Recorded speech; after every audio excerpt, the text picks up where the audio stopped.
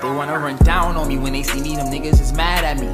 So I walk around with it, cause they plotting and I keep that bag on me. I was a clown to them hating niggas, yeah, they used to laugh at me. Nah, I gotta hold it down, cause the nigga What's like up, YouTube? Come back in another video today. This is a quick drop day, just like a drop day video, cause I didn't have no other I did, so this is an update on my dreadlocks, cause I know a lot of y'all like want to see how my dreadlocks look, cause y'all know I ain't touched my hair for like a month yet. On the 23rd, I'm gonna be retwisting my hair, so stay tuned for that. And I'm about to show you how I look right now. I know I need a haircut, so don't roast me. I'm gonna keep saying, you don't roast me for just small stuff, bro. Watch. So don't roast me for saying stuff. That was stupid. The top. The top, top, you know.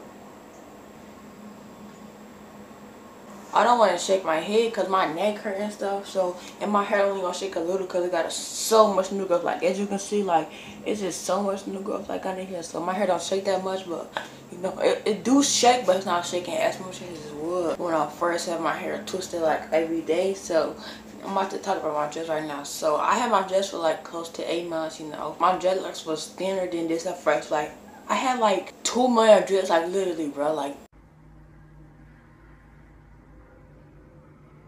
Boy, if you don't get. No, I'm not playing. I'm being so sarcastic. But I had like 200 dress in my head at first, like just off of a high top dress, bro. I had like 200 dress. I swear, bro. Like my dress was so skinny. I had so many dress on my head. And then like when I was in the beginning stage, I'm thinking about like, should I keep my dress like this or should I just like um combine them? Because I I watched this dude named Axel Hunter. Well, his name is Jawan Hunter now, so y'all can go check him out. He do top dread videos and like I, he was my hair inspiration so then I wanted to get a whole lot of dress like him and he got a high top fade so, so I cut off the back to get a high top fade and then he got dressed it's just long now it's like down here he do Taro dreads method he got he got a whole lot of dreads. And then like I wanted my hair like his.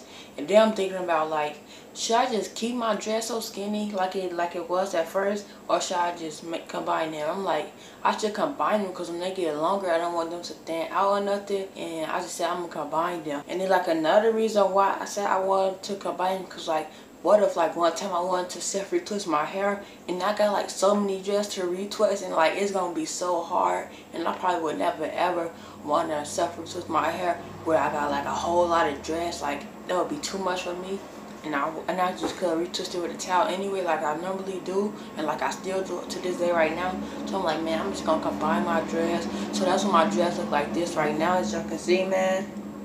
They pretty fresh you know a lot of people think they like freeform right now but Nah, and like uh, this comment on my other video, like the sponge method versus the towel method. Um, so basically, like the first the sponge is like for a freeform type look, and that towel for like a traditional dress look like me. But like right now, this is how you look her look if you're doing the sponge method like this. But if you get a towel and you retwist it, it's going to be looking traditional like and retwisted and everything. But the sponge will kind of make her like you freeform type and a little traditional. So shout out to that comment because that is true. I really couldn't think about that and I'm like, yeah, that is true. So shout out to him, man. See, man, these your updates, not really a lot of stuff to talk about, bruh. Just talk about that for like two minutes, then we out. I try to make a video at least five minutes. Okay, so like, my dress are all locked like y'all can see like this. You see this? You see that? Lock. Lock. I got a whole lot of new growth. Like this is just a dread right here.